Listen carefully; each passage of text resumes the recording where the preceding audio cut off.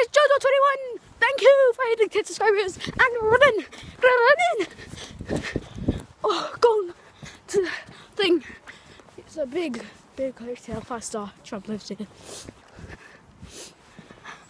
Um, I'm just gonna do something and talk Trump.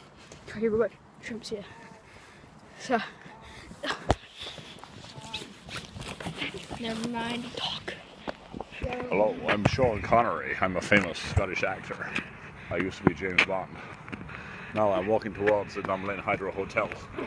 It's a wonderful, stately hotel from the 19th century, built as a lodge for Queen Victoria. Yeah, that was that was that was the actor over there. So, yeah.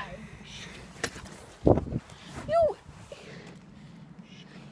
you're such an idiot.